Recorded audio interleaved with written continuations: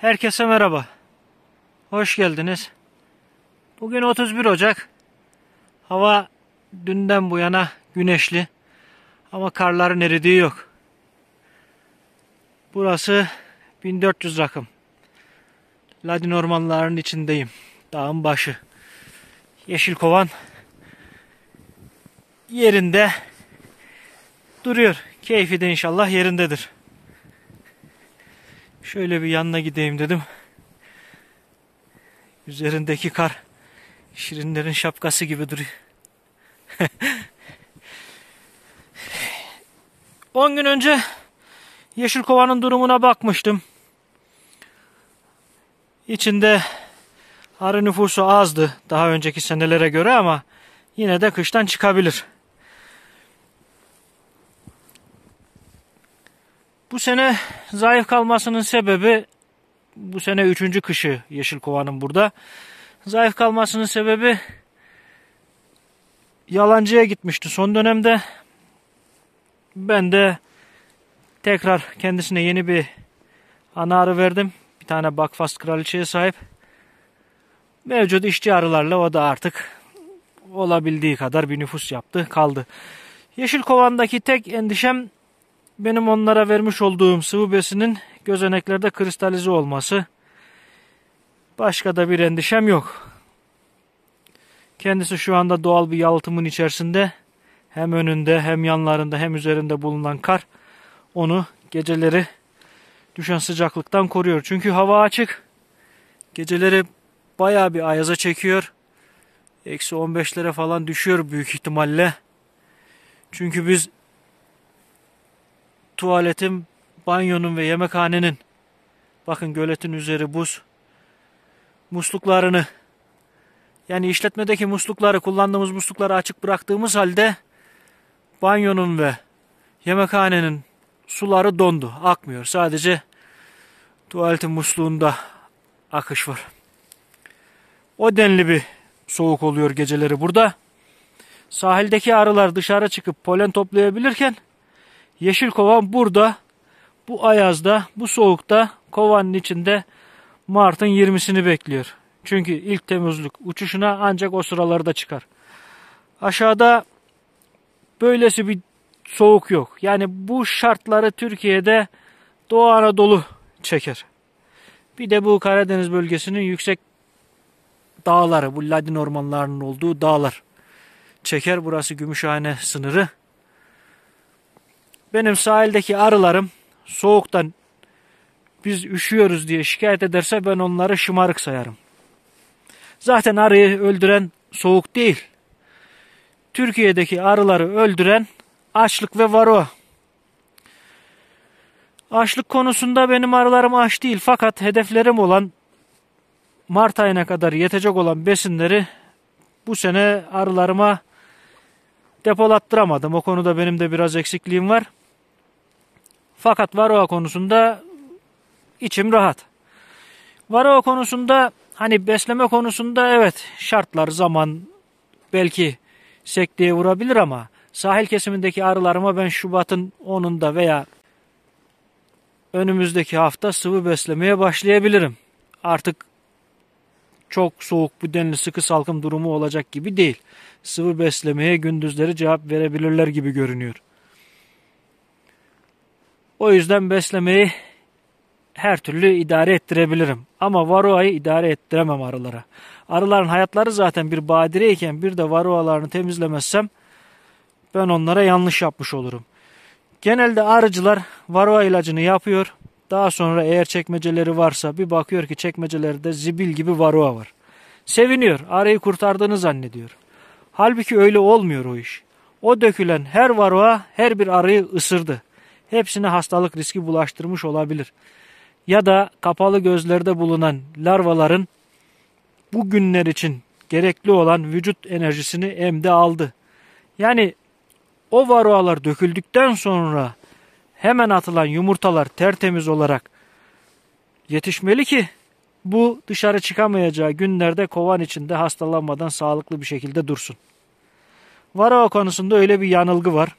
Normalde bu işte olması gereken varoasız birkaç tur kış arısı çıkartmaktır. Eylül-Ekim ayından sonra. O dönemlerdeki varoa ilacı kurtarır. Kışın yapılan oksalik asit bahara hızlı bir atak yapmasını sağlar. Besleme konusunda da bazen arıları o kadar çok sıkıştırıyorlar ki görüyorum arıların basmadığı ballı polenli çerçeveleri bile sıkıştırmak adına kovandan alıyorlar. Bu aslında doğru bir uygulama değil. Ben olsam eğer arıları sıkıştırma konusunda ilerliyor olsaydım en fazla 5 çerçeveye 6 çerçeveye kadar arılarımı sıkıştırırdım. O çerçevelere basacak kadar bir arı nüfusu olmalı ki zaten hiçbir sıkıntı yaşamadan kıştan çıksın. Daha düşük çerçevedeki arı nüfusları da tabii ki kıştan çıkar ama onlar çok fazla ilgi alakaya ihtiyaç duyarlar. Ama bu tip arılar yani 5 çerçeve, 6 çerçeve arı nüfuslu olan ballı, polenli çerçevelere sahip olan arılar kıştan baş ağrısız bir şekilde çıkar. Çok fazla arıyı sıkıştırıp çok fazla yalıtmanın yeşil kovan bir anlamı olmadığını söylüyor zaten. Yeter ki arının yiyeceği olsun ve varoa hasarı almamış kış mevcudu olsun. Geri kalan da arılar işi hallediyor. Hiç önünü arkasını açacak değilim. Girişi kapalı.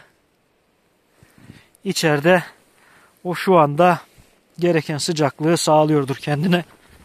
Of düştüm. Bayağı bir kar var burada.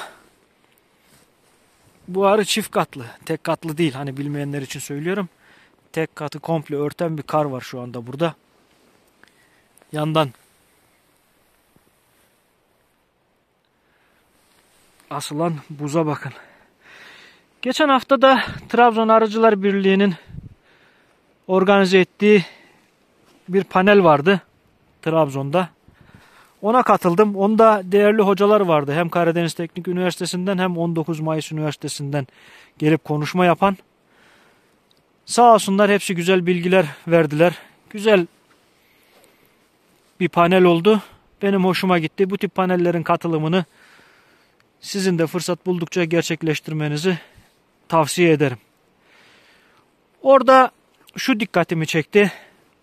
Yöresel ballardan bahsedilirken balın faydalarından, propolisin faydalarından, arı ürünlerinin faydalarından veya pazarlama tekniklerinden bahsedilirken hani ikili fısıldaşmalar böyle kenarda köşede yani ikili bir arada konuşmalar olurken ara ara salonda ne zaman ki Amerikan yavru çürüklüğünden bahsedilmeye başlandı. Arı hastalıklarından, yavru çürüklüğünden bahsedilmeye başlandı. Salonda çıt çıkmadı. Herkes sus pus oldu, can kulağıyla hocayı dinlemeye başladılar. Hoca diyor ki, Türkiye'de yüzde beş oranında Amerikan yavru çürüklüğü var diye söyleniyordu. Fakat bize gelen numunelere göre bu yüzde yirmi oranında. İlginç bir şekilde de bu yıl Trabzon bölgesinden giden numunelerde Nosama hiç görülmemiş. Nosama yok görünüyor Trabzon'da.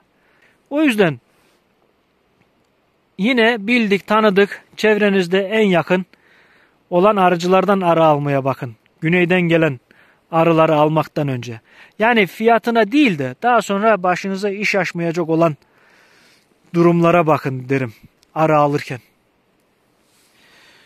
Bu arıların ölümünde hastalık, açlık, varroa bunlar yani arıcılığın baş belası. Arı ırklarına herkes takılıyor ama bu yeşil kovan 3. seneden beri burada 3. kışına giriyor. Yerli bir ırkla girmedi. Karniyolla ve Bakfas'la girdi. Emin olun Kafkas'la da girse yine kıştan çıkar. Henüz daha çıkmadı ama kaldı şurada Şubat, Mart. Yani bir buçuk ay kaldı şurada. Bir buçuk ay sonra kıştan çıkmış sayarım ben bu arıyı. Kafkas'ta da girse kışa yine çıkar. Çünkü arıların bir suçu yok. Arıların ölümüne sebep olan zamanında yapılmayan işlemlerdir. Balığı aldıktan sonra yüzüne dahi bakılmayan arılardır. Durum bundan ibaret. Dediğim gibi hocalar çok güzel anlatımlar yaptı. Ne zamanki yavru çürüklüğüne geldi konu salondan çıt çıkmadı. Yeşil kovanın durumu bu. Kapağın içinde herhangi bir izolasyon yok. Altı kapalı. Çift katta duruyor. 16 çerçeveyle beraber. Kendisine bal ile besleme yapmayı düşünüyordum. Üzerine buzdolabı poşetiyle bal koymayı düşünüyordum. Kristalize olduğu için benim verdiğim yan gözeneklerde. Ancak üzerindeki doğal yalıtım olan bu karı temizlemeyeceğim. Yanına gidip de yine karın açılmasını istemiyorum. Bu şekilde kendisi kendi doğal yalıtımıyla beraber devam etsin. Elbette karın eridiği günler olur o zaman bal koyarım üzerine diye düşünüyorum. Herkese iyi kışlatmalar.